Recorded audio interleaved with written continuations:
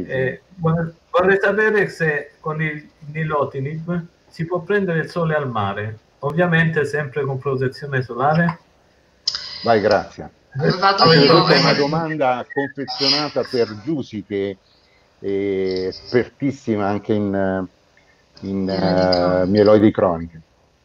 Vediamo, eh, ma io, io, direi che in realtà grosse grosse controindicazioni non ce ne sono. Certo una protezione solare eh, va messa, non esporsi nelle ore più calde, giusto un minimo di buonsenso però che io sappia non sono documentate delle grosse eh, reazioni di fotosensibilizzazione nelle aree eh, cutanee in pazienti che fanno trattamento con nilotinib. Giussi, tu che dici?